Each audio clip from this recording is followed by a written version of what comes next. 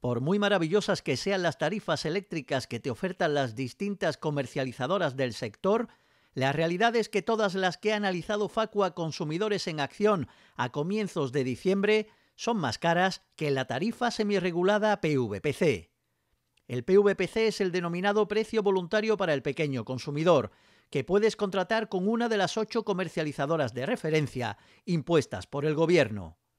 Según el análisis efectuado por Facua sobre ofertas de 10 comercializadoras, un usuario medio que tenga contratada una tarifa de Mercado Libre paga una factura entre un 3 y un 21% más elevada que si retornase a la tarifa semirregulada.